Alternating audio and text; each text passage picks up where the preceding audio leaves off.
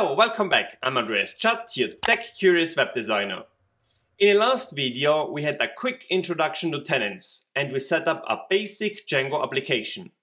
In this video, we will add the tenants configurations and create our first tenant, a coffee shop. Mm. But before we get started, a quick shout out to my new supporter on Patreon. A high five to Ellen. Thank you so much for your support. And thank you Hamel and Dimitri for all the coffees. I really appreciate it. Okay, and now without further ado, let's dive in. This is the basic Django application we built in the last video. Now let's create a coffee shop tenant of it. To work with tenants, we install the package django-tenants. Pip install django-tenants.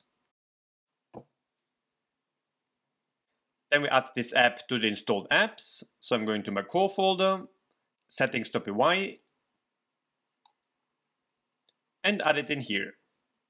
At the very top, it needs to be the first in the list. But with Django tenants, we organize the installed apps slightly differently. The installed apps are divided between the shared apps, which every version of the application can access, and tenant apps, which are tenant specific and isolated to that tenant schema. So to set this up, I change this variable to shared apps. These are apps, for example, for our main application and not tenant specific.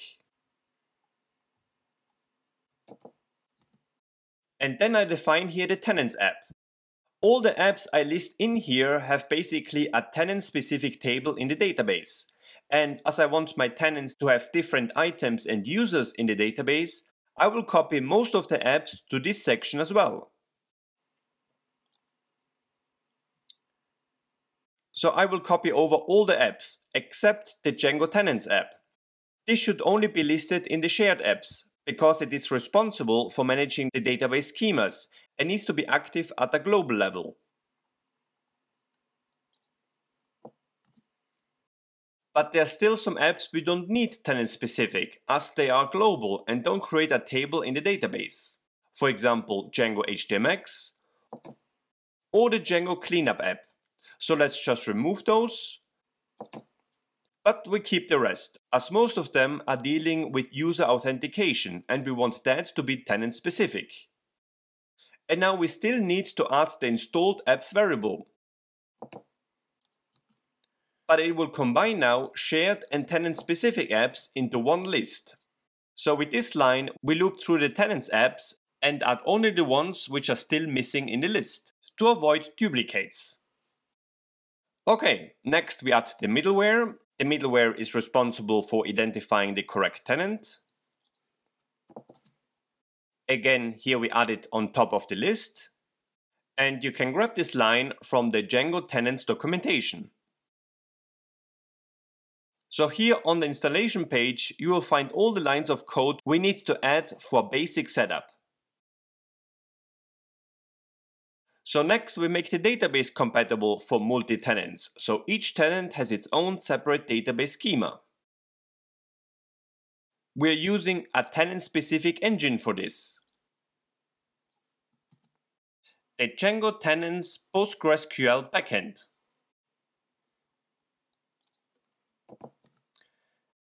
Then we define the database router, which routes the request to the correct schema. And finally, we specify the location for the tenant model and the tenant domain model. These are two tables in a database which store the tenant's information. We have not created them yet, so let's do that next.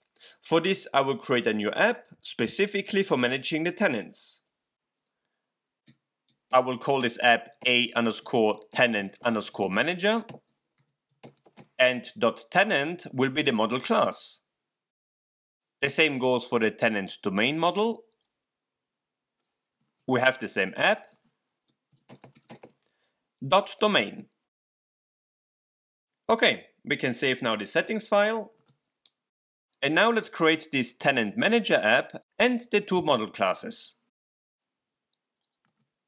So with Python manage.py start app a underscore tenant underscore manager.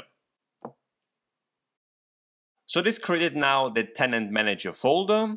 And first let's add this app to the shared apps list. Just below the Django tenants app. Okay, save this file. Next we define the tables. So I'm going to my tenant manager folder, here to models.py, and add the tenant class. This class is inheriting from the tenant mixin class coming from the Django tenants package. From Django tenants.models import tenant mixin. Then we add here a name attribute. This is just a normal char field. And we can also add other attributes. For example, when it was created, or if it's a paid SaaS application, you could add here an attribute to store when the subscription ends. Okay, then let's create now the domain class.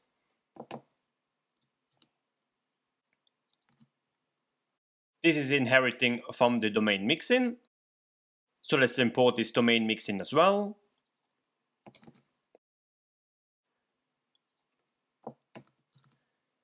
And here we only have to add pass, because all the rest Django will handle. Okay, save this file. Now with all this set up, we can make a migration now. So Python manage.py make migrations. This is creating now the tenant and domain table in the database. And we migrate with Python manage.py migrate. And as we can notice, our migration log looks a bit different now. It is telling us to which schema it migrated. And as we have not set up any tenants yet, the only available schema is the public one, which our main application is using. Okay, and now let's start up the server. With Python manage.py run server.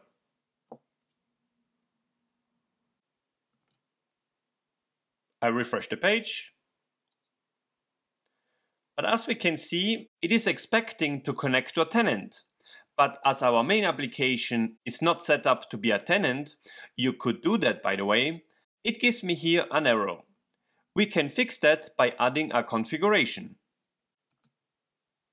So we're going to the settings.py file.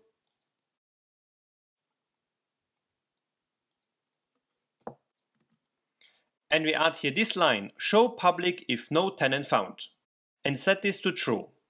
So this is telling Django to use the public schema if no tenant is found. Okay, save this file.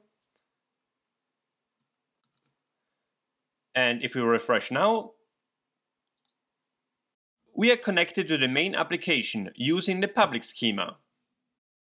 Okay, with that we have set up everything now we needed to add tenants. And it's time now to create our first tenant.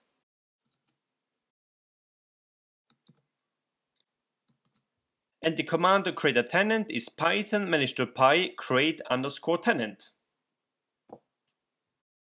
Then first we add the schema name. And because my tenant will be a coffee shop, I call the schema coffee shop. The schema name should be one word and lowercase. Then we have the name of the tenant. Here we can use spaces and uppercase to make it more readable.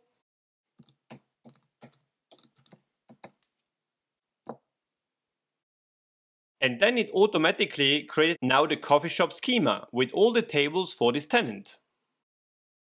And then we also define the domain. And here I'm setting it up as a subdomain. coffeeshop.localhost. Then we could make it primary. For this we just press enter. So this is more relevant if our main application is a tenant as well, to give it special functionalities. Alright, and with that we created our first tenant. Now let's also create a separate admin for the tenants database, so for the coffee shop schema.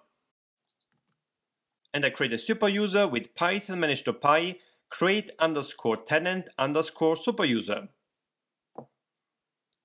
Then we enter to which tenant schema or the question mark to list all available schemas.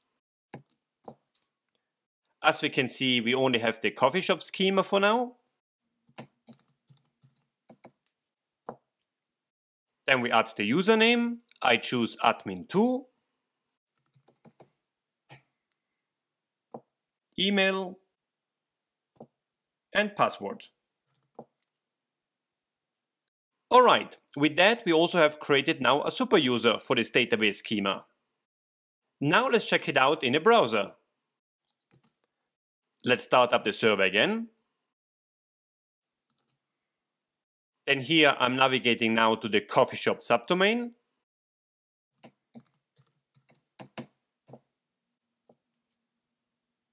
And here we have now a new copy of our main application. As we can see, our items list is still empty. So let's add a few items. Macchiato. Cappuccino. And Americano. My mom's favorite. Okay, let's also check out the admin interface. Slash admin. Here the admin username is admin2.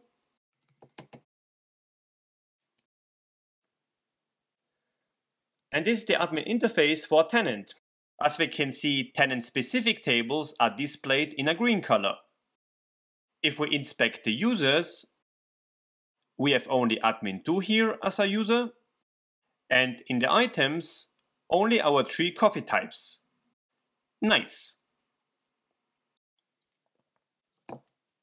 Now let's change the title of this website. I want to display here the name of the tenant. So, coffee shop. We can do this easily in the template. So I'm going to my header.html file, which is in the templates, includes header.html. And here I add now a if-else statement. So if we have a tenant, if request.tenant is true, I display the tenant's name. Else I display Django tenants as the title and close it with endif. Okay, save this file and let's check it out. I refresh the page and as we can see, the name of the tenant is now displayed here. Now let's register this tenants table in the admin interface. However, because the Tenant Manager app is a shared app, the tenants table would appear in the admin interface of every tenant, and that is maybe something we don't want to happen. One option to avoid this is to create a completely separate admin interface, specifically for managing tenants and granting access to this admin only to the main application. We can achieve this by configuring separate URLs for the public app. But first, let's create this custom admin interface. So for this, I'm going to the admin.py file in my Tenant Manager app.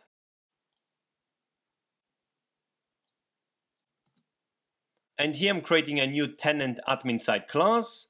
This will be a new admin interface but will inherit the functionality from the default admin site. You can grab this code from my GitHub repository. And we register here the new tenant table and the domain table. Okay, let's import tenant and domain. So from .models import everything.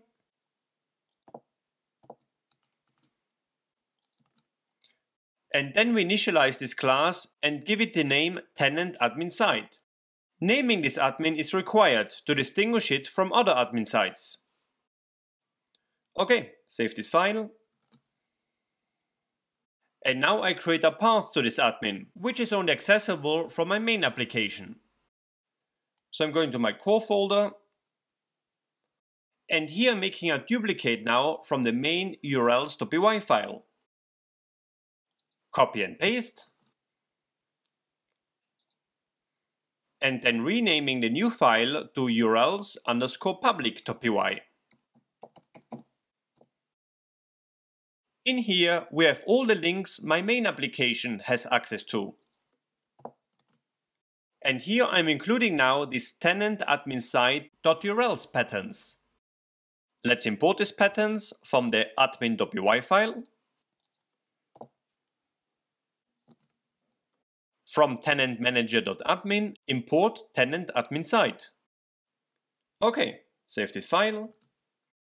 And now we tell Django to use this URL file when we're using the public schema. So we go into the settings.py file. Here we find the root URL configuration. And underneath I add now the public schema URL configuration, which is pointing to the urls underscore public file. Okay, save this file now and let's check it out. So this link should not work on this coffee shop tenant side. So I go to slash admin underscore tenant. And indeed we get a 4.4 page not found error. But let's test it now with the main application, so without the subdomain. Then we have access to this custom admin interface with the tenants and the domain tables. So here we would see all the tenants which were created. And here we could change the name, for example. And here we have also the domains. Alright, this is all for this video. Thank you so much for watching. You are able now to create your own tenants. In the next video, we will see how we can customize this page further with adding a different color for the navigation bar and also update the logo. I hope to see you there. Until then, happy coding my friends, and bye bye for now.